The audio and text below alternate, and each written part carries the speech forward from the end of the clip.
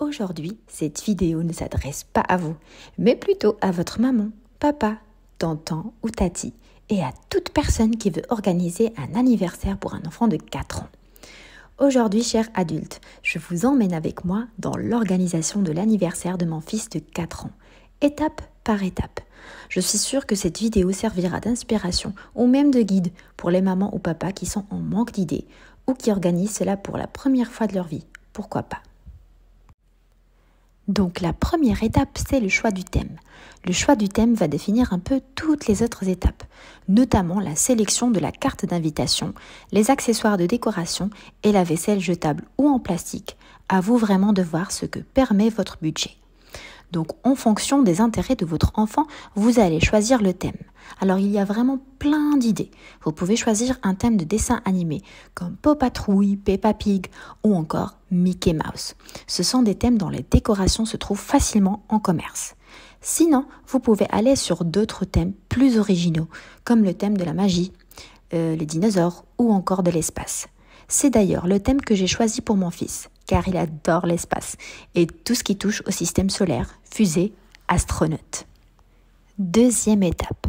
Donc une fois que vous avez choisi le thème de l'anniversaire ou que vous l'avez sélectionné avec votre enfant, c'est le moment de choisir le nombre d'enfants à inviter, l'endroit, la date, l'heure et le programme. Le programme est important car ça permet aux parents de respecter l'heure d'arrivée et surtout pour vous, pour que vous puissiez vous organiser, organiser les animations, l'heure du service du gâteau ou encore l'heure d'ouverture des cadeaux. C'est très important d'avoir tous ces éléments car c'est ce qui va figurer sur l'invitation que vous allez envoyer ou peut-être distribuer. Pour ma part, j'ai choisi d'organiser l'anniversaire de mon fils à l'extérieur, dans un parc avec des manèges adaptés pour son âge et celui de ses copains. J'ai aussi choisi d'organiser un petit déjeuner plutôt qu'un goûter, car les parcs sont vraiment remplis de monde durant les après-midi.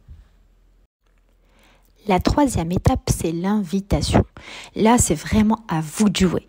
Vous pouvez soit préparer une invitation sur mesure avec l'aide d'un designer et ensuite l'imprimer, ce que j'ai fait pour ma part, ou acheter une carte d'invitation de votre choix qui s'adapte à votre thème et à votre budget également. Voici à quoi ressemble la mienne. Donc euh, comme vous le voyez, j'ai mentionné l'endroit, l'heure, le programme et même ce que les enfants auront pour le déjeuner. Ensuite, quatrième étape, c'est la liste de tout ce qu'il faut acheter. Et cette liste, écoutez-moi bien, va vous sauver la vie, car c'est ce qui permet de limiter le stress lié à l'organisation, d'une part, mais aussi ce qui vous permettra de ne rien oublier. Donc pour ma part, j'ai fait deux checklists.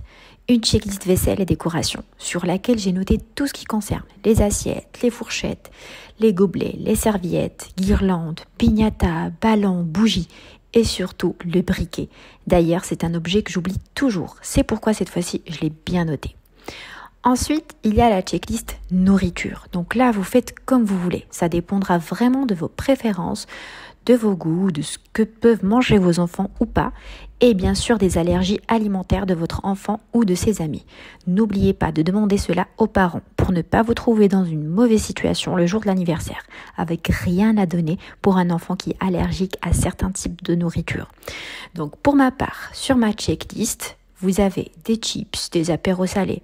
Comme j'avais prévu de faire un déjeuner, j'ai aussi noté tout ce dont j'avais besoin comme ingrédients pour préparer les pâtes bolognaises, les jus, les boissons gazeuses, les bouteilles d'eau, les bonbons à mini chocolat pour la piñata et bien sûr la star du show, le gâteau.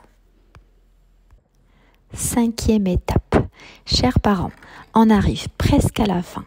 Pour cette dernière étape, c'est le choix des petits sacs cadeaux que vous allez offrir aux enfants. Et là, vraiment libre cours à votre créativité. Choisissez des petits goodies utiles et qui feront plaisir aux enfants, sans toutefois vous ruiner. Pour ma part, j'ai choisi des petits goodies sur le thème de l'espace. Donc, comme vous le voyez, j'ai choisi une petite boîte avec des dessins de l'espace, trop mignonne, une petite lampe torche sous forme de fusée, un bloc-notes, un stylo magique, des stickers et un bracelet avec des dessins de l'espace. C'est trop mignon et je trouve que en même temps c'est très original. Alors vous pouvez trouver tous ces goodies soit sur Amazon ou dans des magasins spécialisés. Il y en a pour tous les goûts et les budgets bien évidemment. Donc si vous voulez, vous pouvez choisir avec votre enfant ou si vous voulez lui faire une surprise, vous le faites tout seul et vous lui donnerez en même temps que les copains. Succès garanti. Maintenant, c'est le gâteau. Donc en ce qui concerne le gâteau, malheureusement, je n'ai pas filmé les étapes de préparation. Toutefois, voici la recette que j'ai plus ou moins suivie. En ce qui concerne le sucre, j'ai adapté à mon goût car je ne voulais pas un gâteau très très sucré.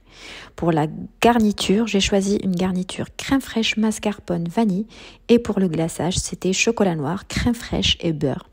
Et j'ai décoré ensuite avec quelques Smarties par-dessus. Et comment vous dire, c'était un pur pur délice. Tout le monde a adoré, petit et grand. Approuvé à 100%. Je vous recommande vraiment de de tester cette recette. Elle est top. Sinon, avant de terminer la vidéo, je vous montre la piñata que j'ai achetée sous forme de fusée. C'était trop génial. Je pouvais pas ne pas vous la montrer. Mon fils voulait pas la casser tellement il a adoré. Donc la piñata, je l'ai achetée sur Amazon, mais je suis sûre que vous pouvez en trouver dans le commerce selon le thème de votre choix.